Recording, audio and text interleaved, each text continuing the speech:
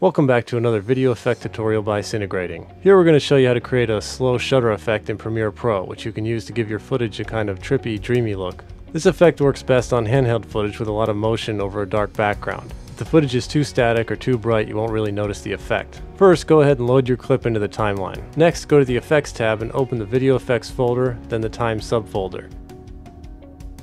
Drag the echo effect onto your clip. Now go to the Effects controls and scroll down to Echo.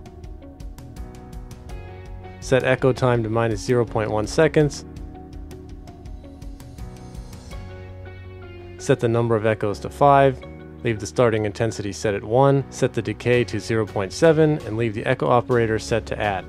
Here's what it should look like at this point. Next go back over to the time subfolder and drag posterize time onto your clip. Go back to the effects controls and scroll down to posterize time. Set the frame rate to 8. Here's what it should look like now. For the final step, let's make some color adjustments. Since the echo effect stacks several duplicate frames on top of each other, the result tends to be too bright. Adjust your exposure, highlights, and shadows to try to bring back your original look or whatever look you're going for.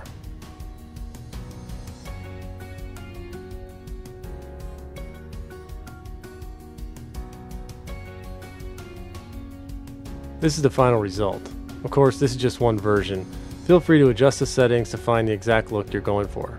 If you like this video, please like and subscribe so we can keep bringing you more great content. If you're looking for LUTs and color presets, check out cinegrading.com.